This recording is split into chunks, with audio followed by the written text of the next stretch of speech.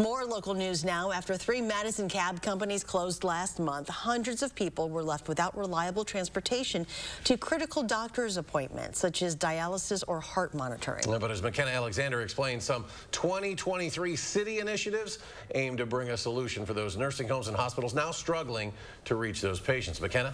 Yeah, tonight Madison's Common Council introduced a few different resolutions that work to build on Dane County's already established transportation services for older adults and people with disabilities.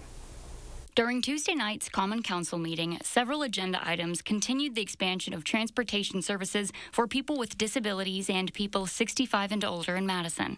The first authorizes the mayor and city clerk to allocate additional funding, specifically $24,300, to go toward both Metro Transit operations, information and promotion, as well as the county's specialized transportation services for people with disabilities. The second continues the city's volunteer driver escort services that allow people to use their own vehicles to transport both elderly citizens and people with disabilities to critical services such as timely doctor appointments. The third confirms that in 2023, Metro Transit will again receive state funding to assist in operating the county's paratransit program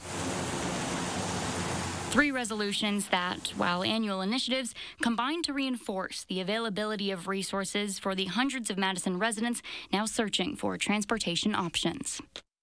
Now, again, these resolutions for referral build on Dane County's transportation services for those in need. For more information on if you're eligible for rides, just visit DaneCountyHumanServices.org.